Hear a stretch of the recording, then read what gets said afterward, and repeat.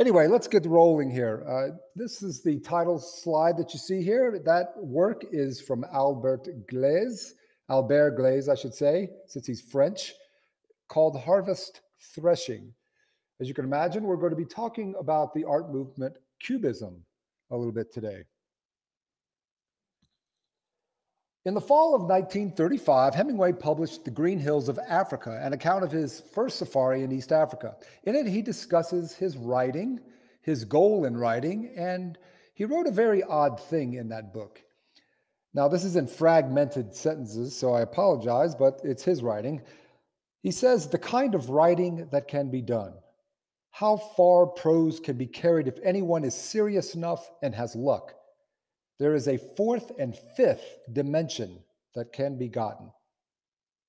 Now, what in the world was Hemingway talking about? Fourth and fifth dimensions? What in the world is that? That doesn't make much sense, at least probably to most of us. Well, I went and Googled it up, starting with the fourth dimension, and I found this definition. The fourth dimension is a place you can travel. Now, now put on your thinking caps here and lean into these words, okay? The fourth dimension is a place you can travel by going in a direction perpendicular to the third dimension. Now, let me repeat that. the fourth dimension is a place you can travel by going in a direction perpendicular to the third dimension. Now, that sounds simple enough just go perpendicular to the third dimension. So let's all try that. Go ahead and try to imagine going perpendicular to the third dimension right now. Just try it. My guess is that this little exercise has already given some of you a headache. So let's try again. We'll have to imagine an object. So let's think about a cube, a quintessential third dimensional object. Imagine one in your mind, a cube. Now imagine that cube extending from one side and bending so that you could see all of its sides. Now, with that image in mind, imagine all the sides of the cube extending out and bending so that you could see all of its sides. Just imagine that. Now, it would be quite a feat if we could imagine a cube bending from all of its six sides, but our brains are not designed for four dimensions, which is what I've described. We can only perceive in three dimensions. Or can we? Where did this strange idea of the fourth dimension and fifth dimension come from? This guy Albert Einstein's experimental imaginings of time's effect on three dimensional space led to the idea, confirmed later, that gravity bends space and slows or speeds up time. It literally bends space and slows or speeds up time. This is from space.com. Einstein's theory of special relativity says that time slows down or speeds up depending on how fast you move relative to something else. Approaching the speed of light, a person inside a spaceship would age much slower than his twin at home. Also, under Einstein's theory of general relativity, gravity can bend time. Picture a four dimensional fabric called space time. When anything that has mass sits on that piece of fabric, it causes a dimple or a bending of space time. The bending of space time causes objects to move on a curved path, and that curvature of space is what we know as gravity. Simple enough. Well, here's an image that describes the bending of space time. This idea means that there are more than three dimensions to our space time continuum. Now, I still had difficulty imagining a fourth or fifth dimension, even though mentally I knew it existed. So I continued looking around various sites, hoping to find one which would help me imagine the fourth dimension. Now, I'm please humor me because you're probably wondering what in the world is he doing talking about fourth dimension? just stay with me here just a little bit longer. So on this site, there was described a method for getting to the fourth dimension by starting from a zero dimension and working our way forward. We start with a point. Okay, that is a zero dimension. Then we draw a horizontal line, which gives us one dimension. We draw a vertical line, and there we have two dimensions. Now, in order to get three dimensions, we have to draw a line indicating depth. So the most basic object we come up with for understanding three dimensions is the cube that I used before. But now what? We need to imagine cubes extending perpendicular to all sides of the cube and be able to see them all at once. But that's impossible since we only perceive in three dimensions. Well, we have to use our three dimensional perception to imagine a four dimensional object, which scientists have done. The object that they came up with is this one. It's called a tesseract. Now, for those who are really geeky about this sort of thing and want to explore it more, there's a wonderful YouTube video of Carl Sagan explaining the fourth dimension using a tesseract if you want to uh, receive a better explanation than one that I gave. Now, some of you may think by now that I'm just cruel, presenting the idea of a fourth dimension. As I said before, stay with me a little longer. Is it possible to imagine four dimensional objects as they really are from a fourth dimensional perspective? Some intellectuals, artists, and seekers around the turn of the last century thought so and even attempted to do so.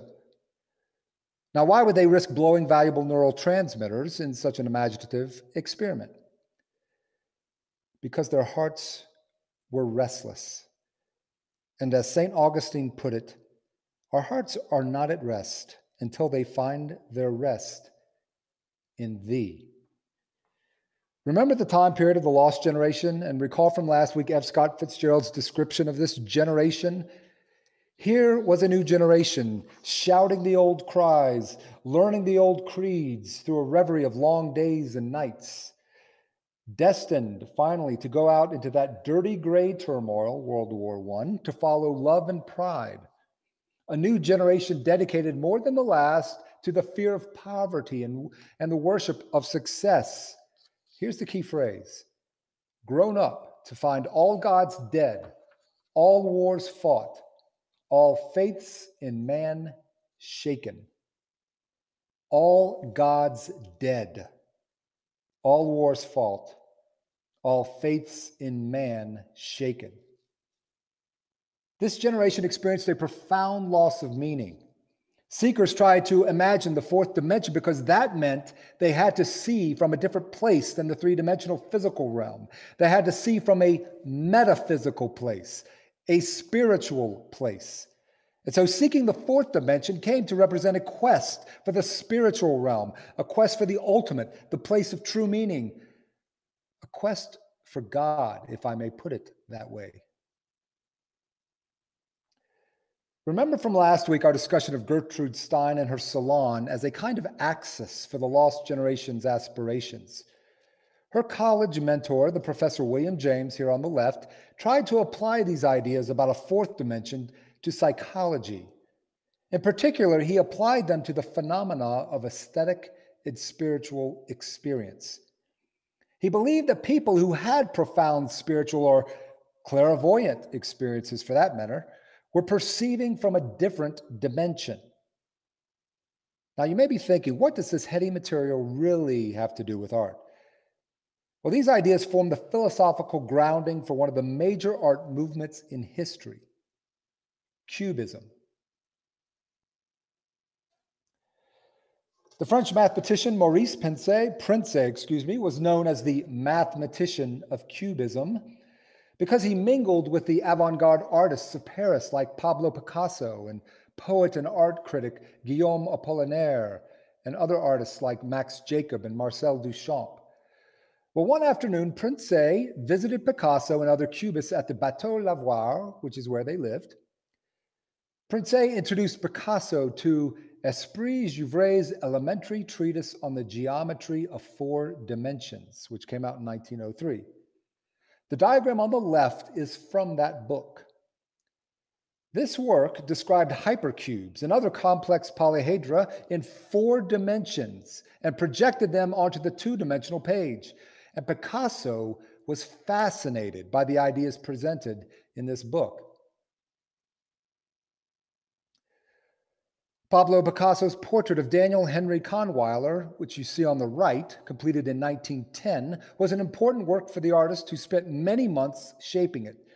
The portrait bears similarities to Jouffret's work and shows a distinct movement away from the proto-cubism, uh, the fauvism, I guess, displayed in Les Demoiselles d'Avignon, you see on the left, into a more experimental analysis of space and form. Take a look at the transition in Cubism for a second. Now, does it surprise any of you that Picasso was reading such heady scientific and philosophical material? Well, artists, the great ones, are some of the most well read people you will ever meet. Artists by, are, by nature are explorers, and not simply explorers of experience, they're explorers of ideas because to them, ideas are experience.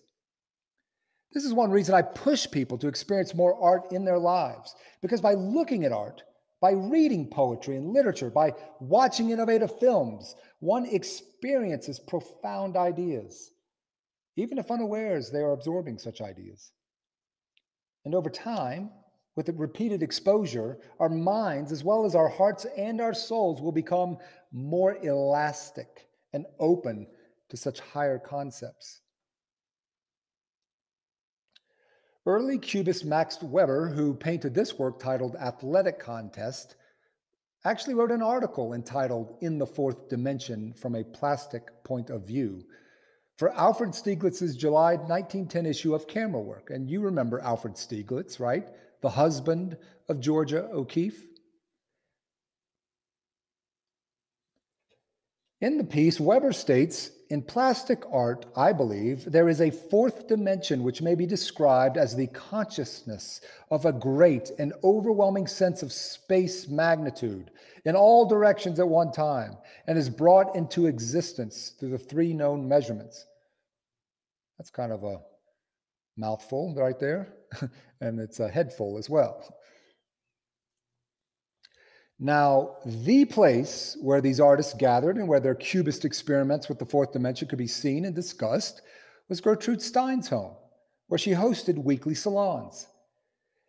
Naturally, the salon of Gertrude Stein came to be like a little laboratory for exploring ideas such as the fourth dimension. And at these salons, Ernest Hemingway, along with poets and writers of various stripes, mingled with Picasso, Weber, and other cubists discussed these ideas, and tried to apply them to their own writing. The Cubist works show what it would be like to see an object from various perspectives all at once. Time would have to slow down for that to happen, or even stand still. And that is the experience these artists were trying to express, not only visually, but in the case of Hemingway and Stein herself, in writing as well. In so doing, they are trying to be conduits of spirit. There is an article on Wikipedia specifically on the fourth dimension in visual art, and I encourage you to look it up if you want to examine this material more deeply. Here is a quote from that article from the French poet Guillaume Apollinaire, who knew almost every artist and writer of significance in Paris around the time of World War I. Guillaume Apollinaire writes Until now, the three dimensions of Euclid's geometry were sufficient to the restiveness felt by great artists yearning for the infinite. The new painters do not propose any more than did their predecessors to be geometers. But it may be said that geometry is to the plastic arts what grammar is to the art of the writer. Today, scientists no longer limit themselves to three dimensions of Euclid.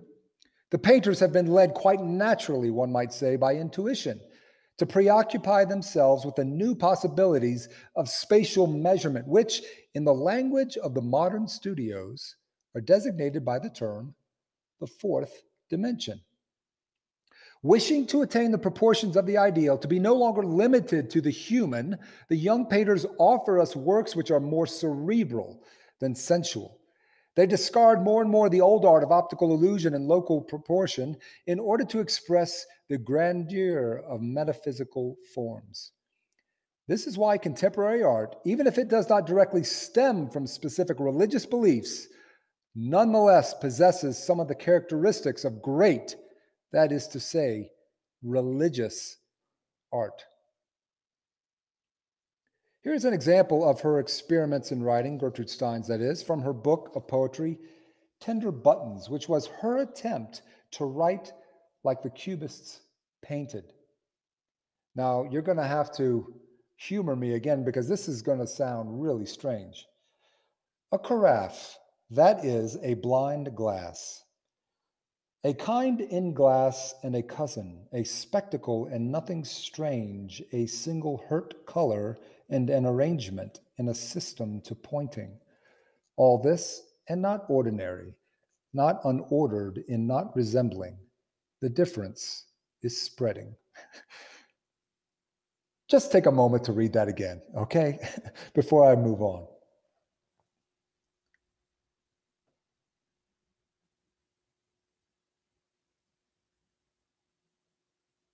All right, enough of the torture. Let's take a closer look at what at first may seem mere gibberish. A kind in glass simply means a carafe is a type of glass, just like any bottle is. It is cousin to many types of glass, including eyeglasses, which are spectacles. However, the title says the carafe is a blind glass, perhaps because it is filled with a liquid described as a single hurt color. So maybe it is filled with red wine, which is the color of a bruise or blood. It is arranged in a system to pointing. Well, imagine a cubist painting of a bottle where you have various angles of the object presented at once, which creates several points. She has fragmented the carafe, in other words, so that it appears in various arrangements with points. It also must be a uniquely styled carafe because she describes it as unordered and not resembling. And the difference is spreading. Spreading as in various perspectives, which are all different, are bent outward onto a two dimensional plane as in a cubist painting. Now, that was some work, wasn't it? In the Atlantic Monthly in 1935, Gertrude Stein denied being influenced in her writing by the idea of the fourth dimension. What she has done in this description of a carafe, however, is present in, in only three sentences, is present numerous perspectives of a carafe, just like Picasso's Cubist paintings. Her approach is more of an intellectual experience than a pure sensational one. But even if such works sound like nonsense, it had a significant impact on writers like Hemingway and others because it encouraged them to experiment, to challenge the idea that the experience of time in writing was purely linear. In an interview for the Transatlantic in 1946 with Robert Bartlett Haas, Stein reflected back on these days of experimentation, saying, I don't know if I have that. I don't have that slide. She said, I used to take objects on a table, like a tumbler or any kind of object, and try to get the picture of it clear and separate in my mind and create a word relationship between the word and the things seen. Now, here are a couple of examples of perhaps more accessible poetry from members of the lost generation, attempting to convey the fourth and fifth dimension in their work by creating sensations through powerful imagery. In a station of the metro. Uh, could somebody, uh, Azad, could you let uh, Lisa in? She's in the waiting room. Azad, can you hear me? I don't see her. Oh, maybe because you redid the Zoom. Oh, maybe so. Um, let's see. Let, let me escape right now, real quick, and admit her. Sorry about that. And I'll continue my playing. Can you all still see my screen okay? Yeah. Okay, cool. Lisa, welcome. Sorry you're a little late here. We're just finishing up. We start at nine o'clock now, so sorry about that.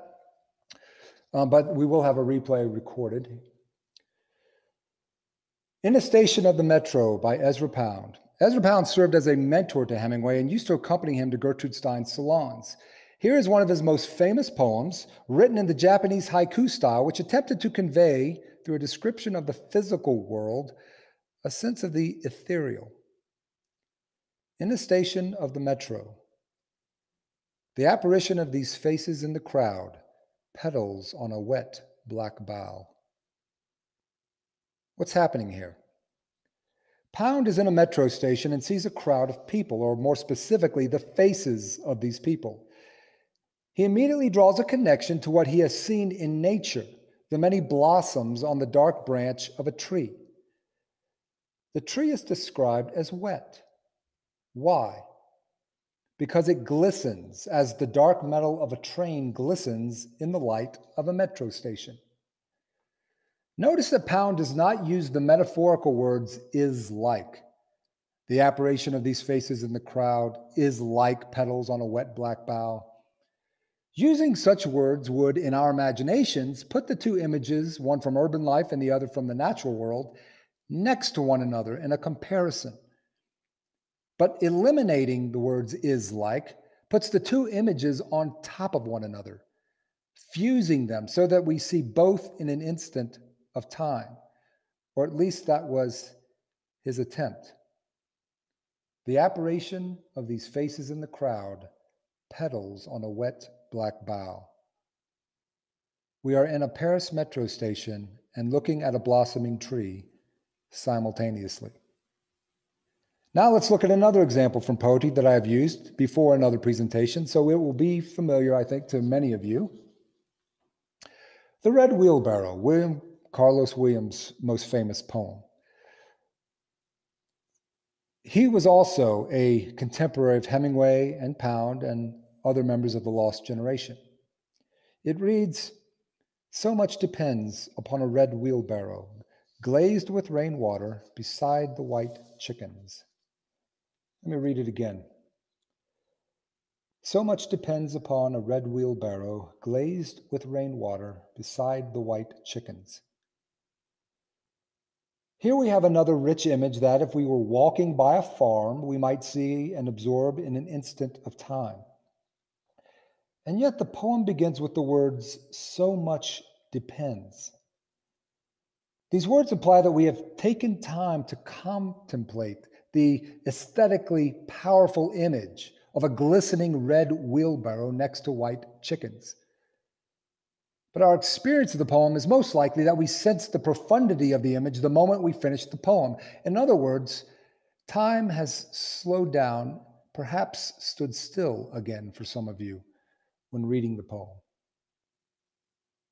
Now recall that Hemingway and Green Hills of Africa mention not only the fourth, but the fifth dimension. Well, the fifth dimension has been defined by P.D. Upinski, uh, Ouspensky, excuse me, a pseudo philosopher scientist that Stein was probably familiar with. He defined it as simply the eternal now. The eternal now. Some of you who have studied Hindu philosophy will probably be familiar with the term the eternal now. It's a moment of bliss. In other words, when time not only stands still, as in the fourth dimension, but time ceases to exist altogether. This is the experience only of a God, I suppose, or some highly trained Indian gurus. I can appreciate Hemingway's ambitions, but this seems a bit lofty, especially for a writer.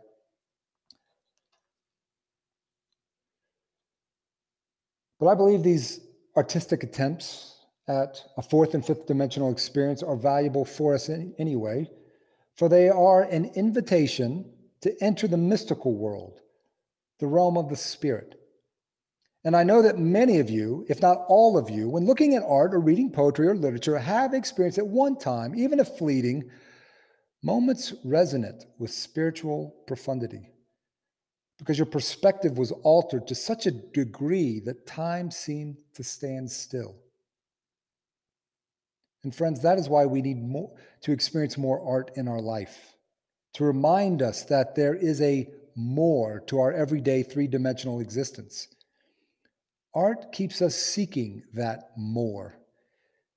It keeps us restlessly seeking because our hearts are restless until they find their rest in Thee.